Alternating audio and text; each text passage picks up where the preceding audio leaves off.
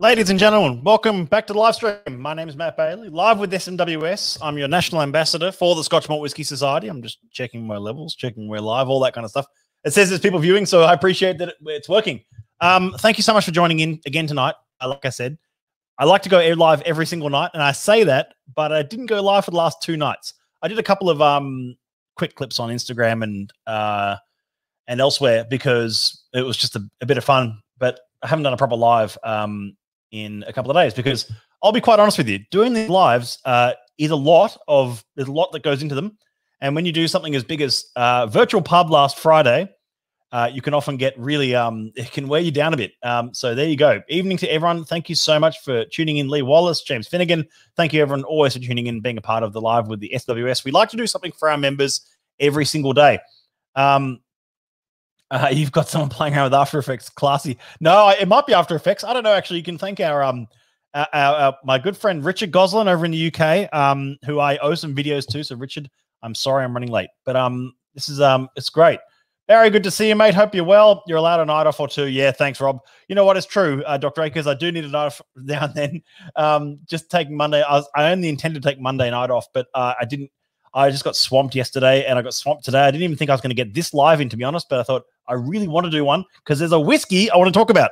So, um, that said, I'm going to talk about tonight. I'm talking about something which is from our August outturn. Now, August outturn has been and gone, if you like, but there's still so many goodies still on the site.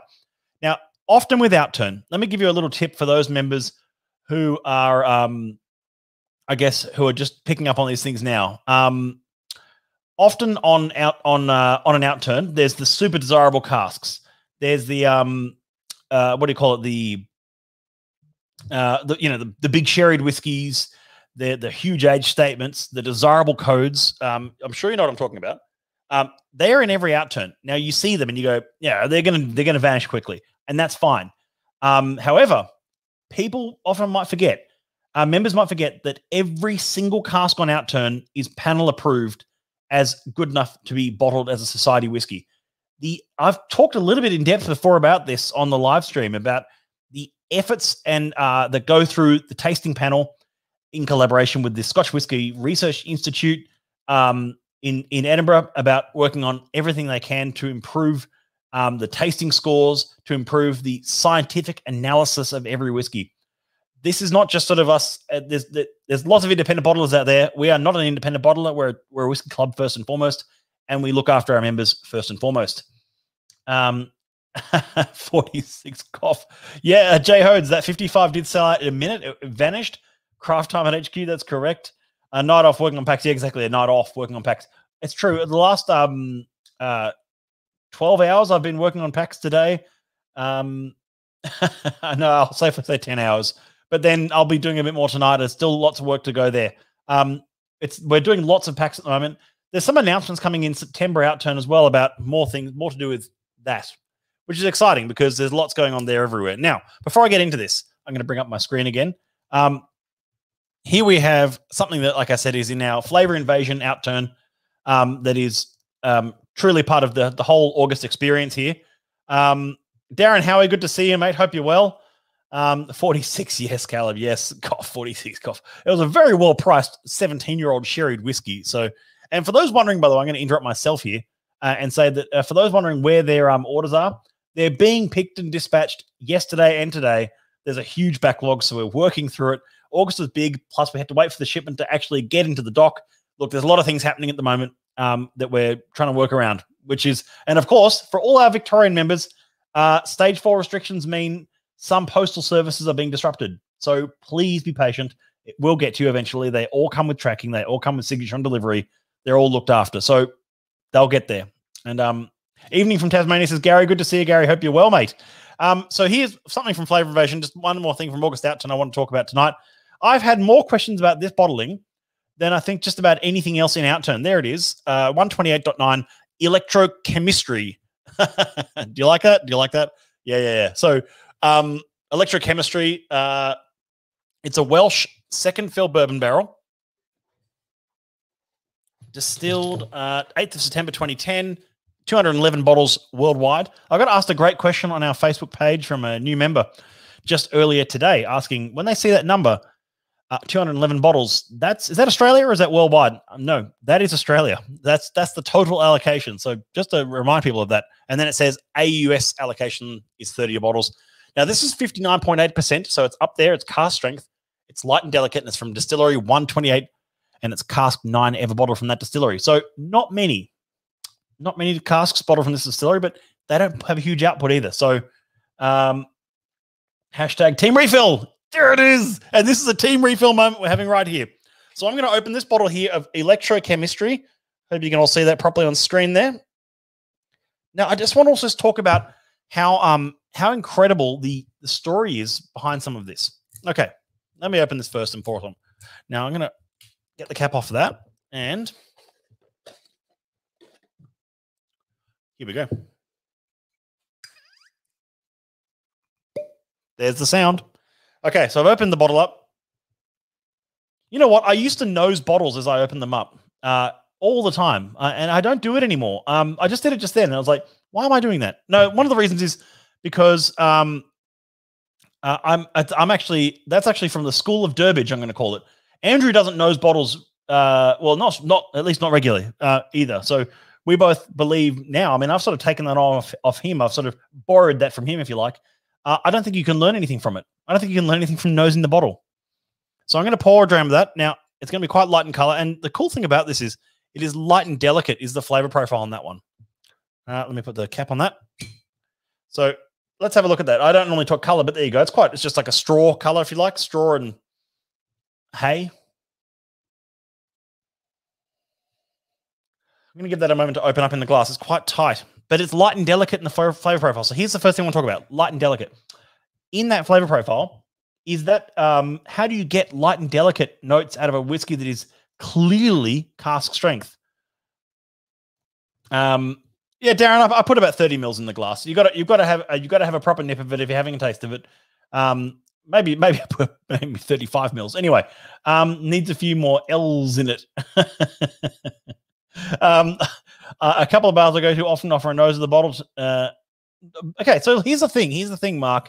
I feel like if you get something out of nosing a bottle, and I think if you're at a bar and you're and you're contemplating spending a, a fair amount of money on a, on a nice whiskey, I don't think as I don't think that's an unreasonable request. I, I often go to bars and say, "Can I have a look at that bottle?" Because a, I want to know how long it's been opened, and it might be a bit flat, and b, um, you know, if I don't know anything about that type of whiskey or what the, what it is, or even type of spirit, I want to be able to nose and go, "Ah, okay, I'd love to have a glass of that."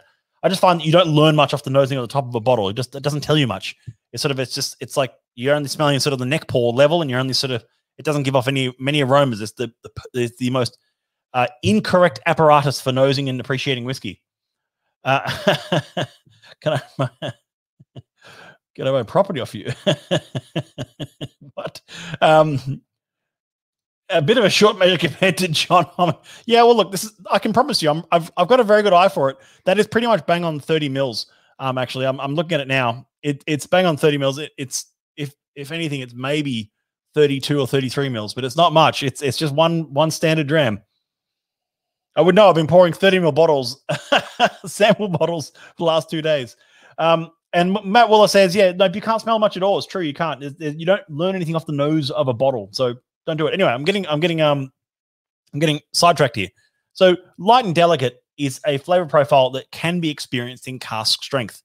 And it's the it's all about the flavor profile. Just how just as how we can have deep, rich, and dried fruit uh, ex bourbon barrels, just as we just as we can have light and delicate sherry casks. That does happen. So, um, uh, sorry, or even young and sprightly sherry casks as we've seen before. If anyone here remembers 60 uh, 60.26 or something the code was. Anyway, it was a, oh, maybe not even a 60. Anyway, there was a recent Glovebox Sonata in B minor was the name on it. I can't believe I remember that. Glovebox Sonata in B minor. It was a seven year old sherried whiskey in the uh, young and sprightly.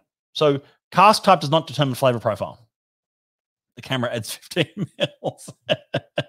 that's the comment of the night. Well done, Owen. That's actually quite funny. well done. That's actually quite, I like that. Um, uh, Matt Handpour Bailey. Yeah. well, hey, uh, if if your sample bottles have a bit more than thirty in them, you can you can blame me.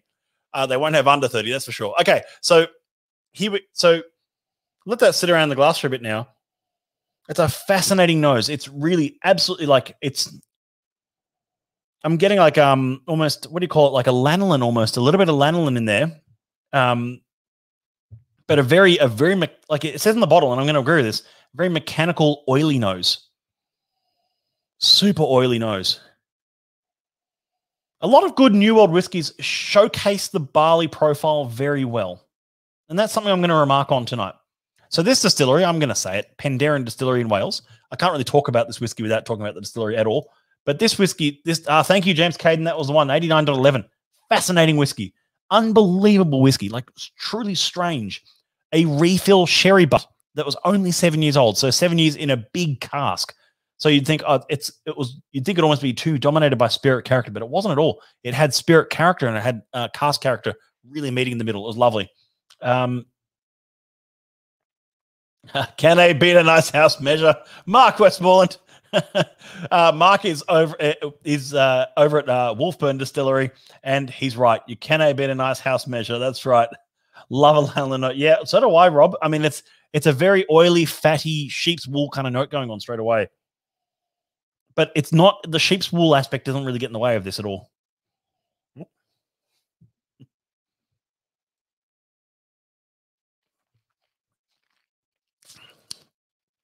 Oh, wow.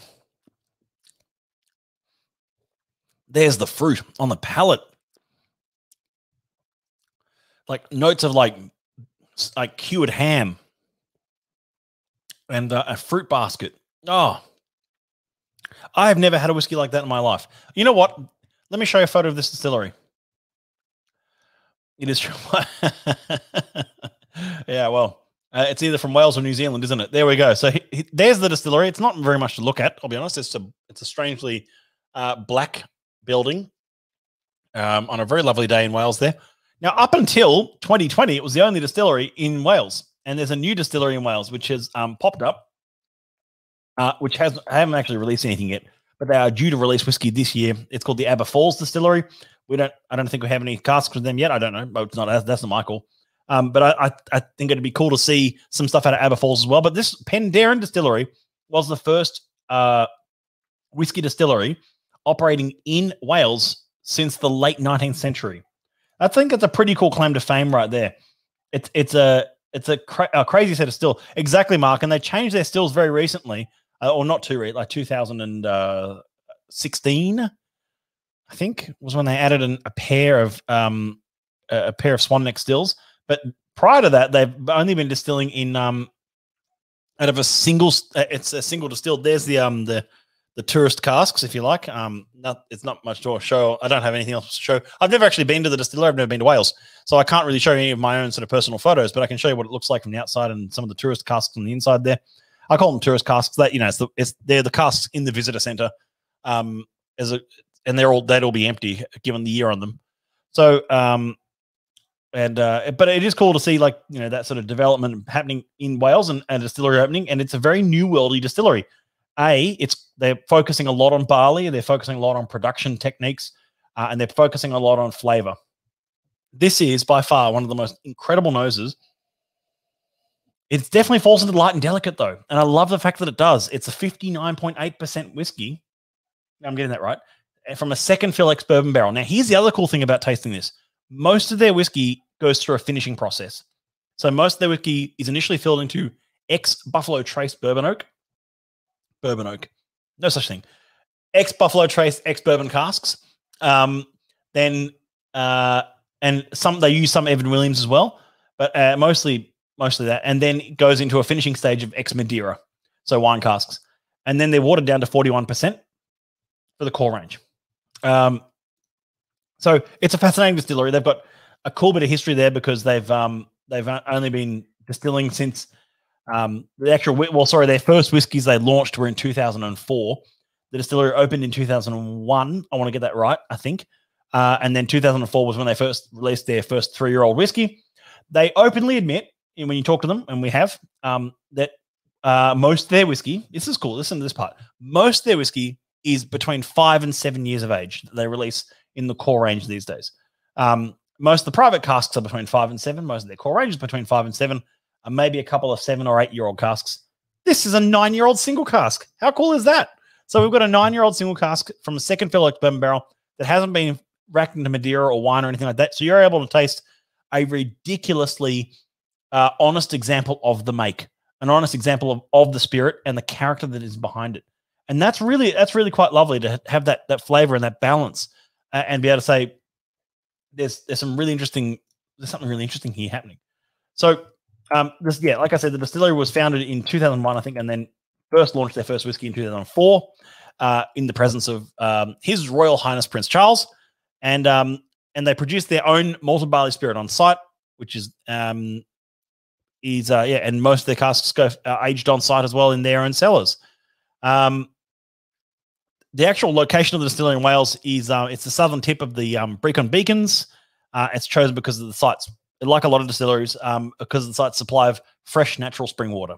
So don't don't put too much effort or emphasis into the whole sort of you know oh it's the it's the best um, uh, spring water source or whatever. It all goes through ionization and filtration and everything, but it certainly helps having a good water supply to build a distillery because then you can turn the water into something better also known as whiskey. So we don't see, there's a few flavor profiles we see a few, uh, just a little bit less of compared to others, I'll be honest. Um, sometimes we, we don't see too many light and delicates. And when we do, this is the first time I've seen a light and delicate in the new livery. And I'm so glad that it's a world whiskey from Wales. A single cask in this case as well, 128.9, one of 211. It's just lovely. So I'm going to have another nose of that. Actually, you know what I'm going to do? I've already nosed that a few times. I'm going to add a bit of water. And because I'm on brand, I'm going to use my new Society uh, monogram watering jug. We have watering jugs. They're $35. But I'm going to just add a, a generous dash. See what happens to that now. Not a generous dash, just a dash.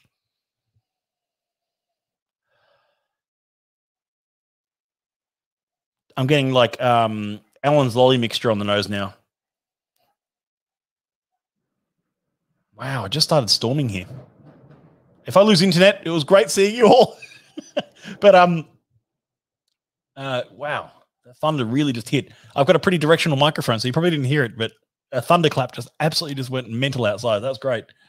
Um uh, if you could just if you could pick that one or champagne. Hmm. I'd go with this one over champagne. I like champagne, but I'm not much of a champagne drinker. Um, be interesting to see what, what it does to the dram. I always like trying whiskey both with water and without and especially at 59.8% and from ex bourbon barrel and refill. Yeah. Was there a piece about them in a recent unfiltered? I seem to recall reading about them. I think there was, uh, Dr. Akers, and I think I'll, I'll have to dig out which issue it is. But keep your eyes peeled because the next edition of Unfiltered will be landing soon. And then we've got an announcement coming for uh, some evolution of Unfiltered, which is exciting. That'll be in September out turn. Don't worry. You heard it. What?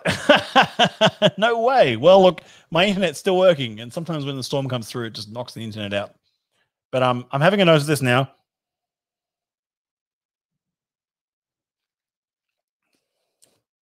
Yeah, I think I prefer that with water. So just put this in context for you. This is a new old whiskey that is possibly some of the oldest whiskey they've ever released at natural cask strength and from a single cask and it's only 220. Now, I know you might think that 220 for a nine year old ex bourbon barrel Scotch whiskey seems high. But if this was a nine year old Australian whiskey or a nine year old Indian whiskey or a nine year old American whiskey, these the climates affect the whiskeys differently. They age differently, and as a result, they respond differently uh, in in in the climate. So they age faster and they pick up oak influence faster. So therefore, there we go. Um, okay, any news on what's happening with gathering and lockdown? You know what? Uh, I can't see who's posted that comment, but I'll, I'll answer it anyway. I, I just, I don't know yet.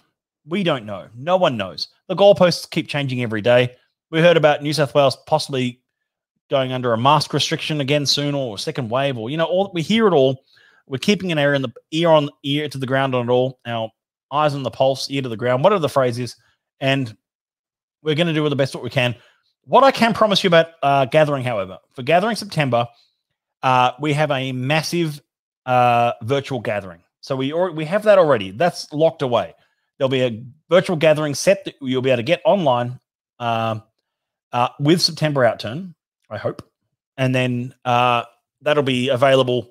Um, and we'll be doing a massive virtual gathering, Andrew and I, uh, at somewhere between mid late September. Uh, we will like we we are planning on doing some smaller format events like we did last year for gathering around different cities, but it's all depending on what we can get away with. So, uh, and we want to we just want to absolutely be safe. CT, oh, good to see you, mate. Yeah, we absolutely want to be safe with it. Um, uh, and that includes, I mean, Melbourne is probably going to be entirely virtual, and that's fine. That's there's not going to be any small format events in Melbourne we know that already. Melbourne's in a bit of a different spot from the rest of Australia. Victoria's in a different spot from the rest of Australia. We know that. Um, so yeah, like the AFL, I think the SN. Yeah, it, I think it's just going to be one of those things where it, we have to play it by ear. We have to we have to have safety within our community. We don't want to say, "Oh, we're hosting a big whiskey tasting," and then we hear of community transmission at a society event. That would be the worst news possible. So we we want to avoid that entirely. So most of it's going to be virtual. Most of the gathering this year is going to be virtual uh, for better or for worse. And I think for better because it means we actually get together online. Uh, if we get together online, get together, chat about great whiskey, talk about great whiskeys, and enjoy great things from the September outturn and from upcoming releases. And it's really exciting. I'm going to have the rest of this bottle with me at the Archie Rose pop up bar. That's a little plug for you. Archie Rose pop up bar is coming up next week. I hope to see as many of you Sydney siders there as possible, or that can fit. And I recommend using the bar booking system on Archie Rose. But there's tickets for the events at Archie Rose are coming up on our website, uh, and they're already up. They're already up there. So jump on anytime, and we'll see you at those Archie Rose events. Um, and in the meantime, I'm just going to um, wish you all good health. Hope you're all well, and I will see you all for live again tomorrow night. You know what? Have a great night, and thank you so much for um, coming along this ride to Wales with me. And we'll talk more about this whiskey online soon. But I hope to see you all soon, and have a great evening. Cheers.